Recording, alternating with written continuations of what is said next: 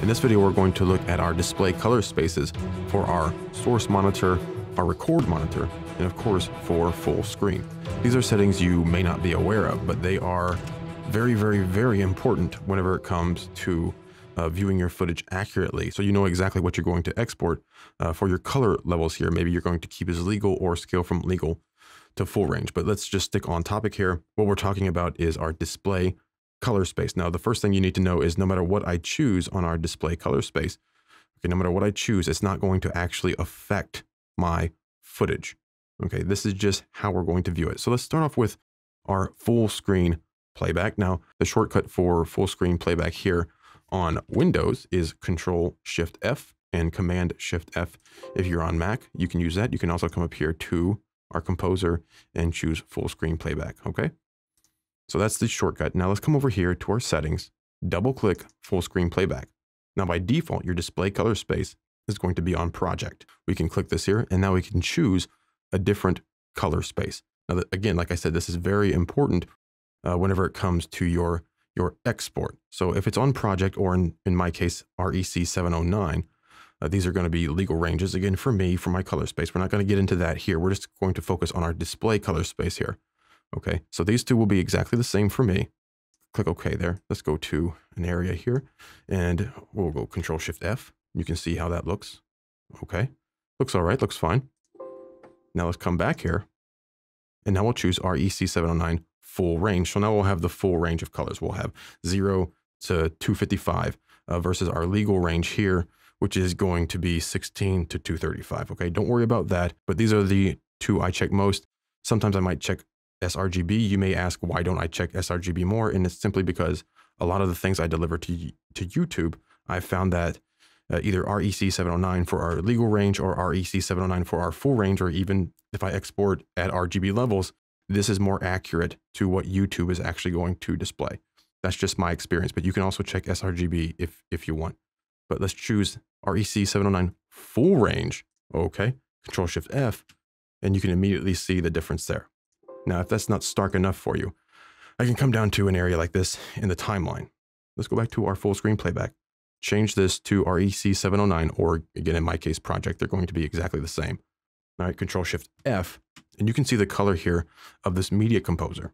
You can see that it's not exactly the same as the colors here that you're actually seeing right now, because this video here is indeed exported with scale from legal to full range. Okay. So once again, Control Shift F, you can see those colors right there.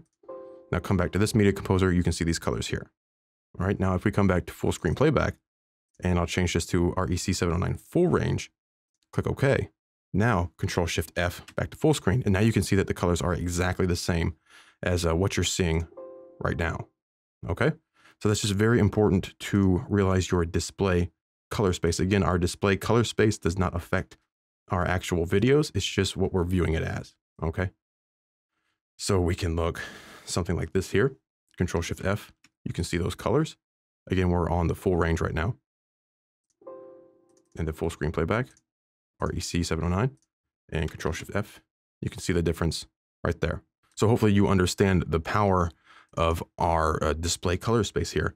Now, what I like to do is leave my full screen on REC 709 full range uh, I just usually leave it at that because I like to check my uh, my footage in full screen just to see what it will it will really look like. You know, if I'm if I'm coloring something in Media Composer, I want to make sure that I know what it's going to look like once I upload it to YouTube. So that's why I leave this on REC 709 full range. Okay, because again, I will usually export. Of course, this depends on scale from legal to full range. You can absolutely export as legal. I do that sometimes as well. It just really depends on what I'm doing. Okay. But if I'm going to export as legal, then I'll definitely come in here and change this back to REC 709. I just want you to understand uh, why you need to check your, your color space. I, I already have another video covering this more in depth. We're not going to go in depth here, so you can go watch that video. And there's also another video linked in that video that will explain it even further. Okay, but let's just stick to our viewing modes here, our display color space. We can also change our display color space in our source monitor and our record monitor, if you don't know which is which. There you go. Over here's the source. Over here's record. All right. So in order to do that, you simply come up to either one of these monitors, right click, come down here to where it says display color space, and we have the same options that we had in our full screen playback. All right, so now if I change this to REC 709, you see absolutely nothing changed. If I come here and do REC 709 full range, now watch this screen there.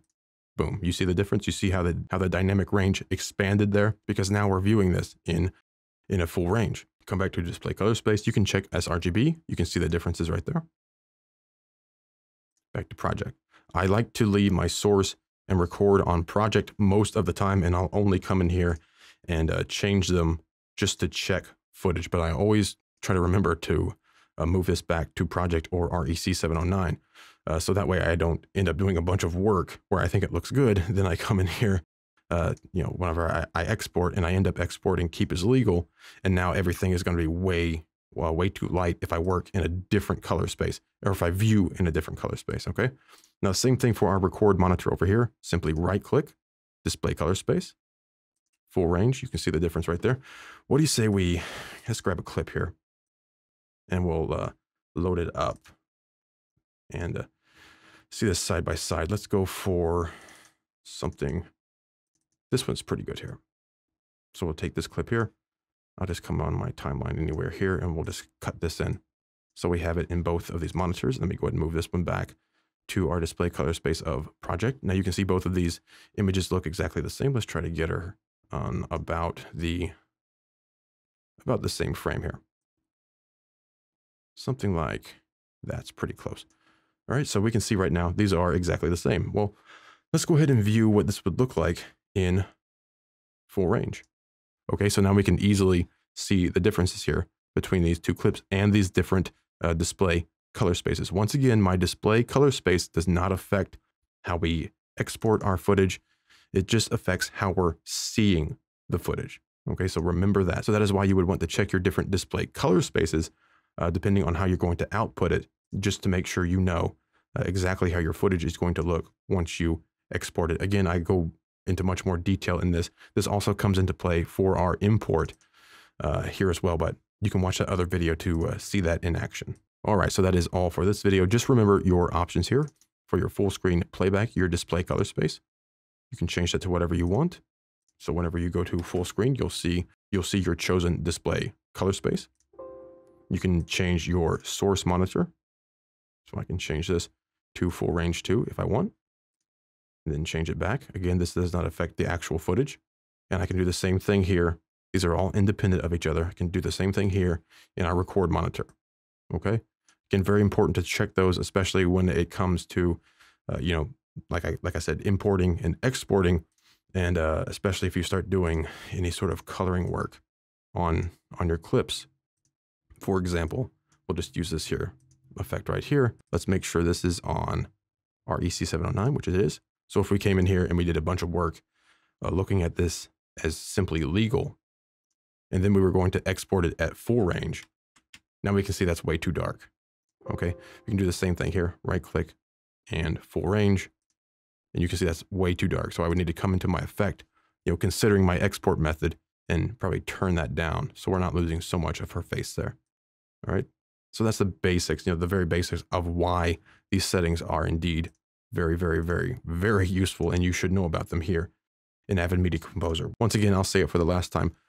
Pay careful attention to what you set your source and record monitors to here, okay? Again, I personally like to leave both of these on project, and I like to leave my full screen over here in settings. I like to leave this on on full range, but I'll always keep in mind that I leave this on full range just in case I need to check something else. All right, so just be aware of what they're set at and make use of these uh, different display color spaces because they come in they come in really, really handy to uh, check your material to know what it's going to look like on your final export. So that is your display color spaces for your full screen playback, your source monitor, and your record monitor here in Avid Media Composer.